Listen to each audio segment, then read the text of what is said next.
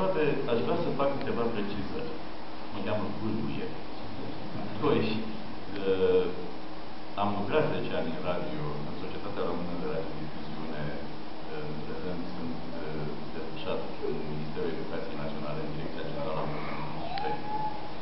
Dar acei 10 ani au rămas ca niște ani luminoși și acelor 10 ani mi-am consacrat uh, și o carte, acel dicționar al jurnalistului de radio, care e prima noastră carte consacrată termenilor specifici acestui univers mediu.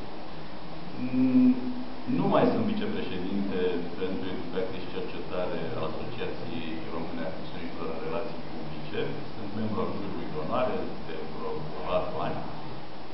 Jurul de onoare Comisie de Etică aceleași asociații. Sunt vicepreședinte al Asociației Române de Istoria Presei, președinte al filialei București Muntenia. Și nu vin de la București, vin de la Cluj, da. ca să închei într-un mod, ca să închei într-un mod uh, onorat. Mulțumesc domnului profesor pentru faptul că a avut asta răbdare și s-a uitat în internet, dar lucrurile sunt simple. Eu am venit astăzi în calitate de prieten al lui Mircea și e o prietenie care s-a realizat în vreo 5 ani de zile, perioada în care Mircea a fost studentul unei școli bune de jurnalism, în care am predat și încă mai predau, de facultatea de jurnalistică de la Blaga Sibiu. Și uh, Mircea, care era un uh, student venit în deplină maturitate la școală, uh, impresiona întotdeauna prin seriozitatea cu care își trata obligațiile didactice și asta este o chestiune extraordinară, spre deosebire de mai tineri colegi, sigur Mircea avea întotdeauna un comportament exemplar, Mircea niciodată nu avea o, o temă nerezolvată sau Mircea întotdeauna dădea dovadă de profunzime în ceea ce făcea, nu marca momentul, ci întotdeauna încerca, să, încerca să-și măsoare forțele. Definitiv și până la urmă un examen, un proiect, o lucrare, nu face nimic altceva decât să-ți măsoare capabilitățile tale într-un moment dat. Și e important pentru tine, în primul rând pentru tine, să știi efectiv unde ești. Iar din ce efectiv a făcut o școală serioasă și a făcut-o la modul serios și a asumat-o la modul serios și pentru asta a căpătat un teribil respect. De aia spun că înainte de prietenie a fost respectul și acest respect a generat o extraordinară prietenie. Ca atare a venit mai apoi la master și când s-a pus problema să-și termine masterul, Mircea a întrebat, zice, că eu aș vrea să continui direcția de cercetare, știind că ne uneau măcar două lucruri.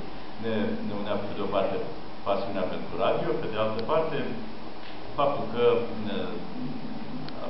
pe lângă tânărul scriitor, e o monografie consacrată unui reviste aproape în anii 50 și e o consecință a tezei de doctorat care se referă la forme și metode de îndoctrinare a tinerilor și formarea tinerilor scriitori după câștigarea puterii de comuniști în 50, în 47. În afară de, în afară de, această, de, aceste, de aceste preocupări de tineret, sigur, am mai scris o șapte cărți de istoria presei unele consacrate radioului, altele consacrate altor forme și am avut în permanență această dragoste pentru istoria domeniului nostru.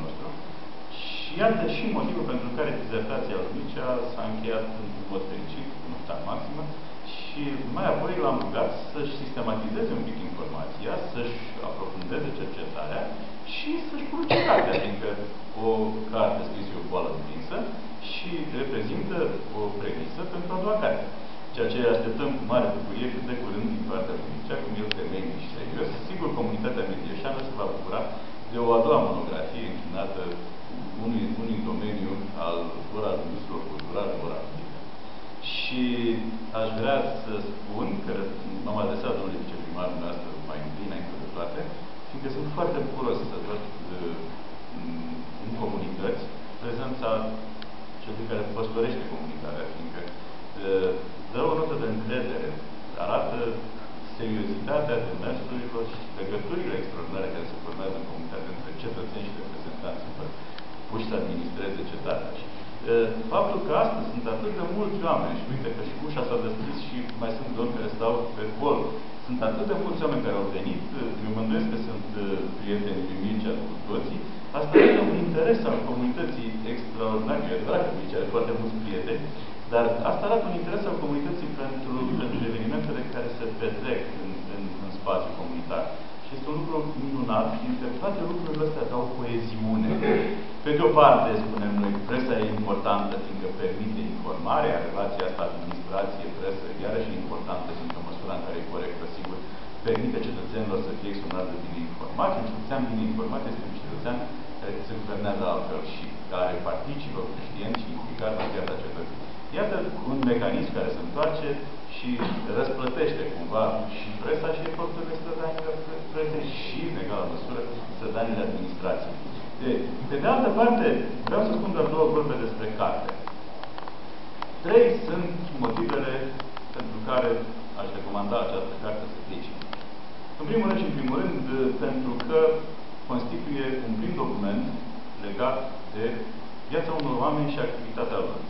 Și asta este o chestie importantă, patru dintre domniile lor nu mai sunt, am înțeles și în memoria lor, cumva, autorul uh, închină aceste rânduri.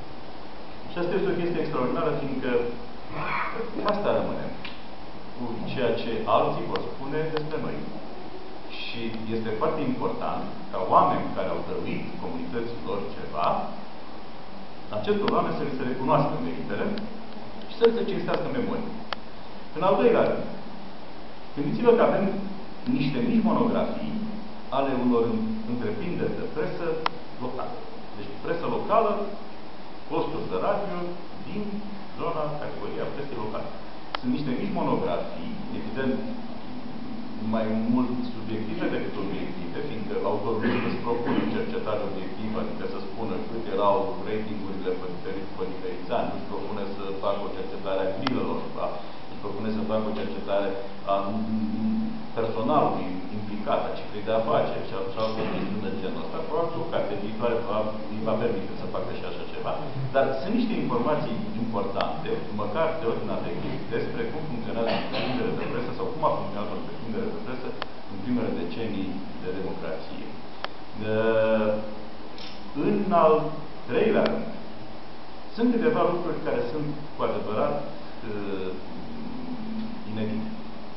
În primul rând și în primul rând, nu avem nicio cercetare, să spun cu seriozitate, mă ocupă de domeniul istoriei presei, nu avem nicio cercetare în România despre uh, stațiile de ratificare și cum au funcționat aceste stații de ratificare și radiodifuziune.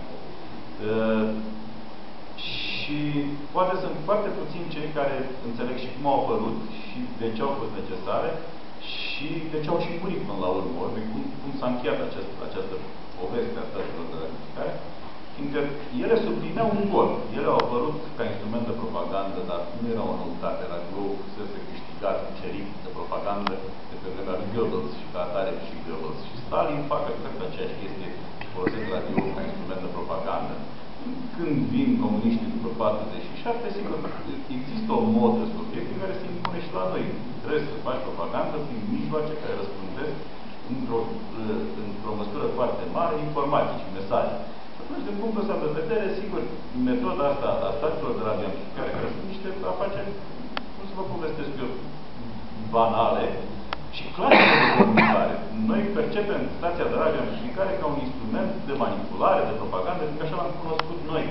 Dar aceste instrumente funcționează oriunde, se numesc radiouri comunitare și sunt niște chestii care pot să funcționeze pe sistemul neurocasting, adică circuit închis pentru comunități, pentru diferite tipuri de comunități, că e stația de radioamplificare a liceului și eu mă îndoiesc că cineva face propagandă sau politică în liceu, că e stația de radioamplificare sau că primăria are o astfel de rețea și pe rețeaua de cablu și suprapune un astfel de post care măcar distribuie diferite tipuri de conținuturi, pe lângă nu știu câte de programe pe care le distribuie rețeaua de cablu, mai puțin contează. Sunt sisteme închise de comunicare destinate unor comunități.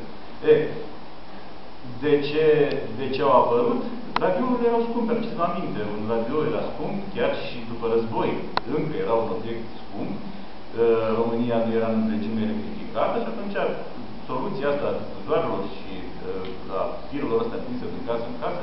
Părea o soluție relativ ieftină. Evident că după miniaturizare, după apariția tranzistorului, a fost relativ simplu, radiourile au scăzut, mă refer la aparatele de radio, dreptul lor a scăzut teribil de mult și atunci fiecare individ și-a putut permite să-și cumpere un aparat de radio și fiecare cămin a avut, acum are acum 5-6 aparate de radio de diferite forme dimensiuni sau în diferite configurații. Deci,